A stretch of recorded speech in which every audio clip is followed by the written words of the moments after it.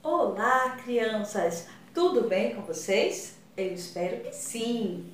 Espero que estejam todos bem. Hoje nós vamos falar um pouquinho sobre a Páscoa. Vocês sabem o que é a Páscoa? A Páscoa não é ovo de chocolate e coelhinhos, não. A Páscoa é a ressurreição de Jesus. Isso mesmo, amiguinhos. Agora vocês vão prestar bastante atenção na historinha que vai começar.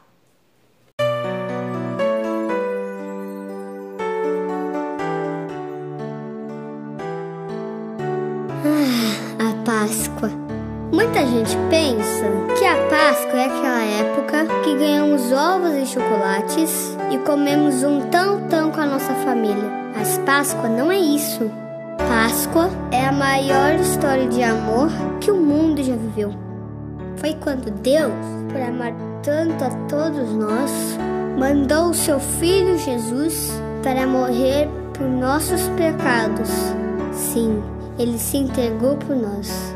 Na Bíblia, em João 3,16, está escrito: Porque Deus tanto amou o mundo que deu seu Filho unigênito para que todo aquele que nele crer não pereça, mas tenha a vida eterna.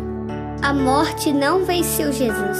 Ao terceiro dia, ele ressuscitou. Sim, ele vive. E se hoje nós temos vida, temos porque Cristo nos amou.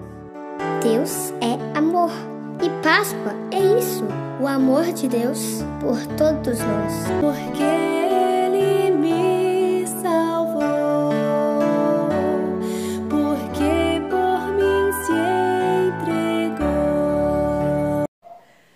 Gostaram da história, amiguinhos?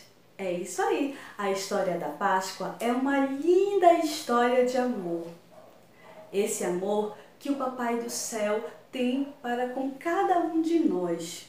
Esse amor infinito e que nós também possamos amar os nossos amiguinhos, a nossa família e todas as pessoas que nos rodeiam.